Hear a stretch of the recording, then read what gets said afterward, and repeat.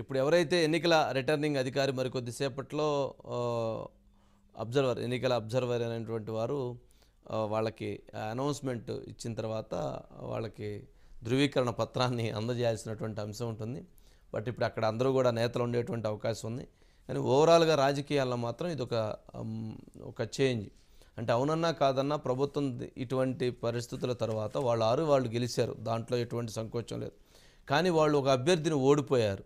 ఆ అభ్యర్థే కీలకం ఆ అభ్యర్థి ప్రతిపక్షమైనటువంటి తెలుగుదేశం పార్టీ గెలిచింది. అంటే దీన్ని బట్టి ఎక్కడో ఏదో ప్రభుత్వం కూడా పైకి చాలా గాంభీర్యంగా చెప్తుంది. అంతా బ్రహ్మాండంగా ఉంది అంతా సెట్ అయిందని చెప్పుకుంటున్నారు అంతా బాగుంది అనుకుంటున్నారు. కానీ లోపల ఉన్నటువంటి వాళ్ళ సమస్యని లోపల ఉన్నటువంటి వాళ్ళ ఏమంటామంటే ప్రభుత్వ వ్యతిరేకతని వాళ్ళు గుర్తించట్లేదు.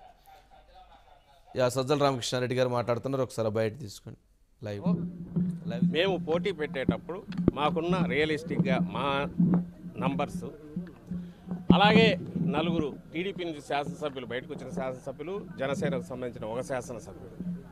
ఎప్పటి నుంచో వాళ్ళు ఇండిపెండెంట్ సపరేట్ ఉంటూ జగన్మోహన్ రెడ్డి గారి విధానాలు నచ్చాయి మేము మద్దతు ఇస్తున్నామని చెప్పిన తర్వాత ఉన్న నంబర్స్ కరెక్ట్గా ఇరవై రెండు ఒక్కొక్కరికి చొప్పున సరిపోతాయి కాబట్టి మాకు మాకే సీట్లు రావాలా కాబట్టి మేము పోటీ పెట్టాం. దాని మీద అక్కడ పెట్టిన చంద్రబాబు నాయుడు ఏ ధీమాతో పెట్టారనేది ఆయన ఆన్సర్ ఇవ్వాలి ఒకటి. మేము పెట్టినప్పుడు ఇందులో మళ్ళీ నెల్లూరు రూరల్ శాసనసభ్యుని కానీ వెంకటగిరి శాసనసభ్యుని కానీ లెక్కలేక వేసుకున్నది మాకు ఇరవై రెండు ఉన్నాయి. కాబట్టి మాకు ఏడు రావాలి. ఏడు రావాలి రాకుండా పోయాయి అంటే అటువైపు తెలుగుదేశం పార్టీ కానీ ఆ పార్టీ నాయకుడు చంద్రబాబు నాయుడు గారిని ప్రలోభ పెట్టే కార్యక్రమానికి దిగారనేది గత వారం రోజులుగా చూస్తున్నారు. హార్స్ ట్రేడింగ్ చూసి. ప్రలోభ పెట్టడం అంటే డబ్బులు తప్ప వాళ్ళకి ఇవ్వడానికి ఏముంటుంది? దాంతో ఎవరినో కొనుగోలు చేసినట్టున్నారు. అలాంటి దాంట్లోకి మేము పోదలుచుకోలే. ఇప్పుడు జగన్మోహన్ రెడ్డి గారు అలాంటి వాటికి పోలా ఈయన హిస్టరీ మొత్తం చూస్తే అదే కనిపిస్తుంది.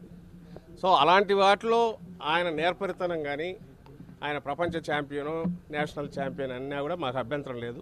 జగన్మోహన్ రెడ్డి గారు దాంట్లో పోటీ పడలేరు. మా పార్టీ కూడా పోటీ పడలేదు. ప్రజలకు సంబంధించిన దీనికి సంబంధించి ఎప్పుడైనా సరే జగన్మోహన్ రెడ్డి గారిని దాటుకుని అయితే అతను పోలేడు పోగలిగిన శక్తి లేదు.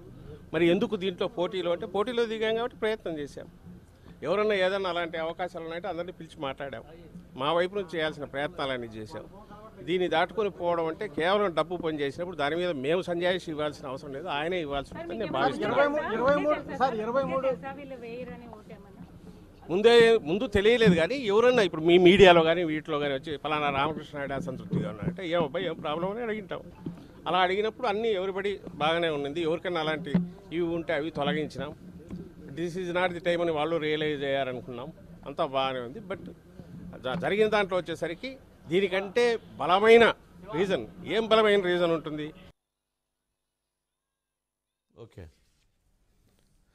వీరు కూడా సజ్జల రామకృష్ణారెడ్డి గారు కూడా క్లియర్గానే చెప్తున్నారు. మేము ప్రయత్నం చేశాము. చంద్రబాబు నాయుడు గారు చేసినటువంటి జిమ్మిక్కుల ఫలితంగానే ఇటువంటి పరిణామాలు చోటు చేసుకున్నాయి. వాళ్ళు డబ్బులు ప్రభావం ప్రలోభాలు పెట్టి గెలుపొందారు. గెలుపొందడం జరిగింది అంటున్నారు మరి తెలుగుదేశం పార్టీ చెందినటువంటి వాళ్ళు వాళ్ళు నలుగురు అటువైపు వేశారు. మరి వాళ్ళ దానిపైన మరి వీళ్ళేమంటారు అనేటువంటిది అదొక ప్రశ్న ఉత్పన్నం అవుతుంది. కానీ సం కొంత ప్రభుత్వం అయితే వారు మాట్లాడిన దాని ప్రకారంగా యా నమస్కారం అండి శ్రీదేవి గారు. ఉండవల్లి శ్రీదేవి గారు నమస్కారం.